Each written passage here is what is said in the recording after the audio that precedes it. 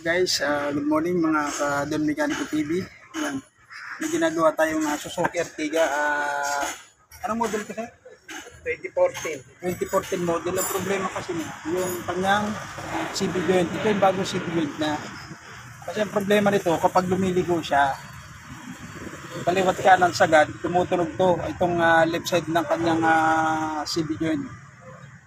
Yan, ito yung sa kanya guys. Uh, kung mapapansin mo ito yung ah, nakakabit sa kanya. Sobrang luwag na ng kanyang ah, mga bulitas o bearing sa loob. Kaya ito yung tumutunog pag lumiligo, kapag lumiligo siya ng ah, sagad ng kaliwa. Kaliwat kanan may tunog siya, pero dito sa left side lang. Kaya isa lang yung papalitan natin guys. Yan. Ito kasi yung bago. Yan. Ayan guys, ah sasalang natin natin dito sa kanyang axle. Ayan, syempre, bago natin na ilagay ito, lalagyan natin siya ng grasa. May grasa siya guys. Ayan. Ang brand nito ay Federal Mogul. Ayan. Ilalagay natin dito sa loob yan. Tapos dito kasi siya nakakabit sa transmission. Ayan si Sir. ah. From Montalban pa po yan si Sir. Ayan. Yan na guys. ah, ilalagay ko na to guys tatanggalin natin to ilalagay dito tapos ipapasok natin malambot lang naman kasi ang lock nito kumpara sa ibang sasakyan. Yan guys uh, umpisan ko na. Yan ito po nilapag ko na lang yung ating camera kasi yung stand ko po nasira. Yan. Ito po yung kanyang grasa. Ikakabit na natin. Lalagyan natin kanyang grasa. Kailangan puno ito. Kasi pag walang ah, grasa yung loob niyan tutunog din siya. Useless din yung pagpalit natin na joint Yan. Kailangan puno ito guys.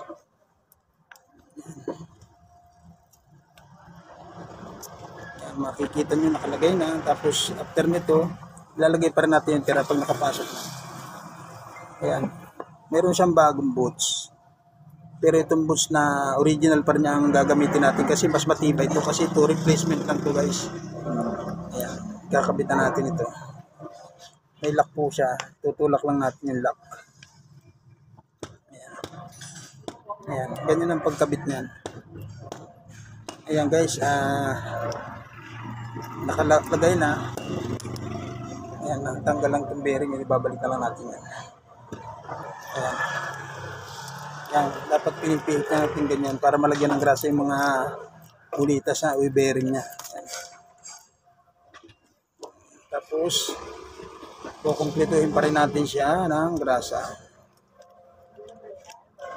para puno. Tapos yung matitira ilalagay na natin sa inner. Ilalagay na natin sa inner. Ayan.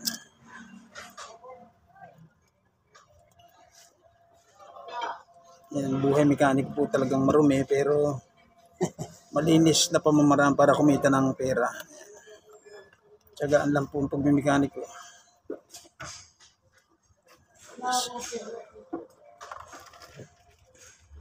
Tapos papalitan din natin yung kanyang lock. Yan guys, nakakabit na. Papasok na natin yan. Tatanggalin natin dati yung lock. Ayan guys, ah ikakabit na rin natin itong ah, kanyang CB joint na bago. Ayan, ang itsura niya ngayon.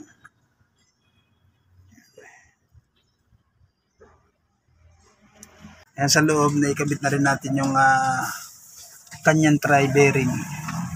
Ayan sa loob tapos sila. Tatalin na lang natin yung kanyang boots para hindi maghulog ang grasa niya. Tatalian na lang natin siya after niyan. Ayan, higpitan na natin yung mga bolt dito. Dalawang 17 tapos yung caliper ilalagay tapos yung ABS sensor niya ilalagay natin guys.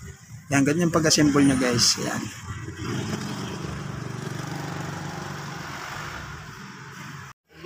inigpitan na natin kung kanyang mga bolt niya sa shock yan spindle going to shock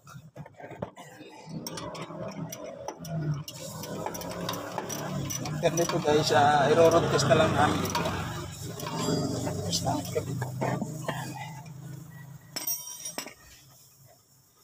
Natin ang power handle para mahigpit mabuti yung mga nut niya.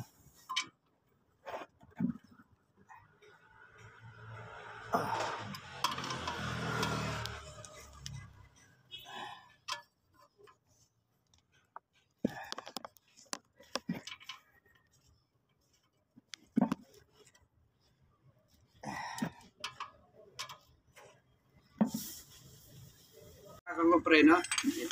Hindi na sir. Ayan guys, ah, hinihigpitan na natin yung kanyang ah, CB joint ah, nut na size 32. Yan, nakompleto na natin ito lahat. Ilalak na lang natin ito. Tapos na itong gawin. Yan. Tapos ilalagyan na natin ang cover ito. Ayan guys. Tapos after niya, i-road test na natin guys. Ayan po yung ating Ayan po yung ating ginawang ah, Suzuki Ertiga. Ayan. 2014 model. Maraming salamat po. Ah, please like and subscribe uh, Don underscore Mechanical TV. Thank you and ah, good day sa inyong lahat.